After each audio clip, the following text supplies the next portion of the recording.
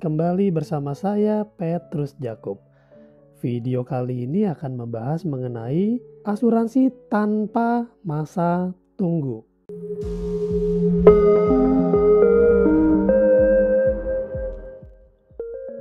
Bener, teman-teman nggak salah dengar. Sekarang ada asuransi tanpa masa tunggu. Ini yang baru banget teman-teman. Teman-teman udah tahu belum sih? Kalau belum tahu, simak terus video ini ya. Nah ini teman-teman bisa melihat ini brosur resmi dari Allianz. Kenapa Allianz mengeluarkan asuransi tanpa masa tunggu? Karena berdasarkan surat edaran otoritas jasa keuangan dengan nomor 5 SEOJK 05 2022 itu tentang produk asuransi yang dikaitkan dengan investasi. Jadi ada ketentuan baru teman-teman tentang masa tunggu atau dan atau ya periode eliminasi. Jadi ini berlaku sejak 14 Maret 2022.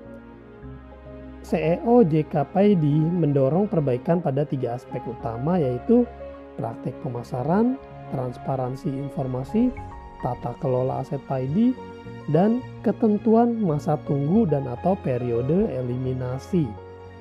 Nah teman-teman pasti mikir ya apa sih Pak Petrus ketentuan masa tunggu dan atau periode eliminasi itu?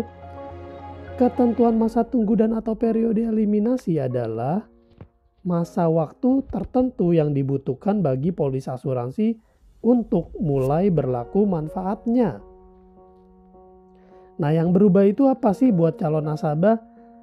Jadi, kita boleh memilih, teman-teman. Perhatikan kata-kata saya ya. Kita boleh nasabah ya, nasabah boleh memilih mau pakai masa tunggu atau tidak. Nah, jika teman-teman memilih tanpa masa tunggu nih, kan ada dua pilihan ya. Jika teman-teman memilih tanpa masa tunggu, maka wajib melakukan medical check up wajib teman-teman. Untuk dewasa itu tipe E. Lalu untuk anak-anak itu tipe A. Dan biayanya ditanggung oleh nasabah. Nah, ini yang harus benar-benar diperhatikan. Medical check up-nya di mana? Di rumah sakit atau provider rekanan Allianz. Dan biaya ini dibebankan kepada nasabah ini harus digarisbawahi dan itu tidak bisa menggunakan hasil medical check up yang sebelumnya telah dimiliki. Jadi kalau teman-teman Pak Petrus saya kan udah saya dari kantor ada nih hasil medical check up baru kok baru seminggu yang lalu bisa dipakai gak? Tidak bisa ya. Jadi tidak bisa. Dan ketentuan lainnya adalah biaya asuransi coy atau cor coy coy atau cor ini teman-teman tahu ini adalah cost of insurance dan ini adalah cost of rider asuransi tanpa masa tunggu naik 100% jadi kalau teman-teman memilih tanpa masa tunggu ini biayanya naik 100%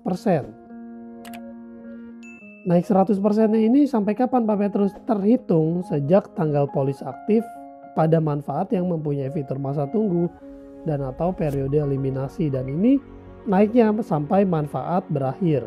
Manfaat asuransi polis tanpa masa tunggu. Nah, manfaat asuransi selama periode eliminasi dan atau masa tunggu hanya dibayarkan 50%. Jadi ada namanya periode eliminasi. Masa tunggu ya namanya ya. Masa tunggu untuk misalnya penyakit kritis itu kan masa tunggu 80 hari ya di Flexi CI. Nah, itu hanya dibayarkan 50% dari manfaat polis kecuali payer dan spouse payer benefit.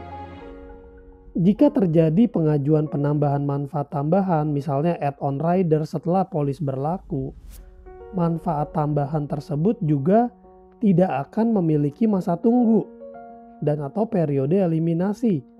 Maka ketentuan penambahan 100% biaya asuransi tambahan akan berlaku.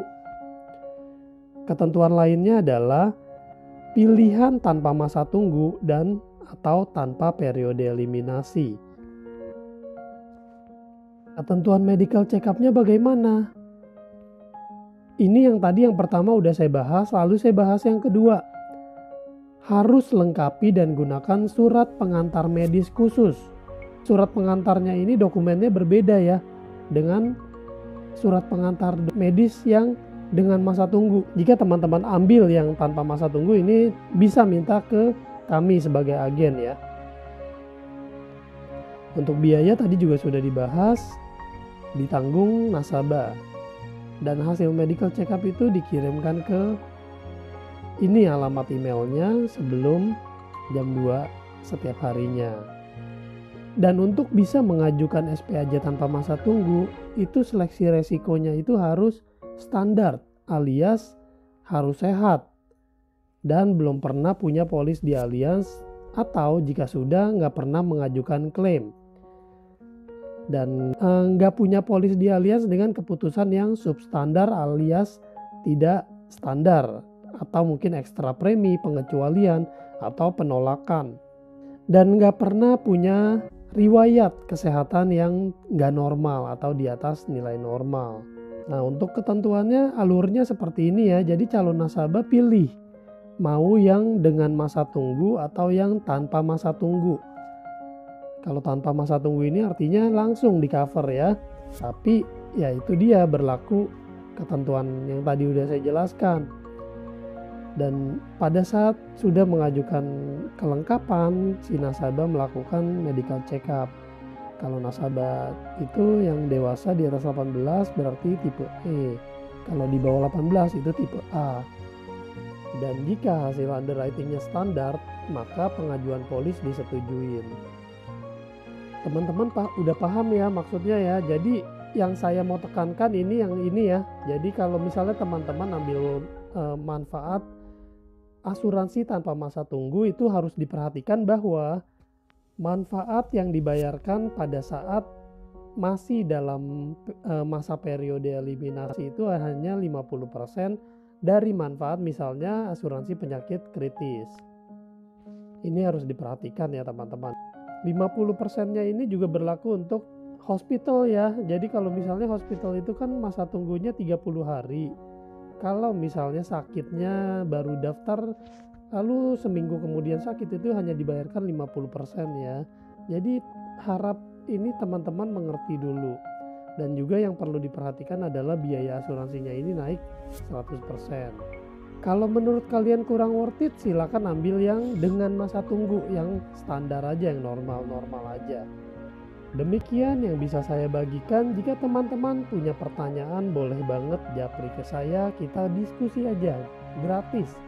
Silakan WA di 0856781031. Saya Petrus Jatuh. Tuhan memberkati.